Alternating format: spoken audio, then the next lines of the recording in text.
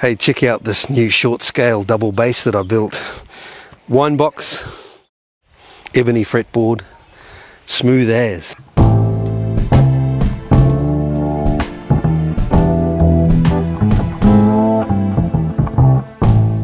If you ever plan to move to west, way, take the highway, that's the best. Get your kicks on Route 66.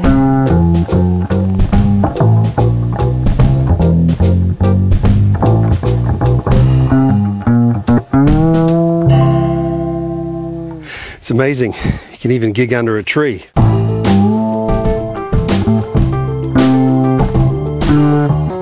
This thing is so portable, you can go anywhere.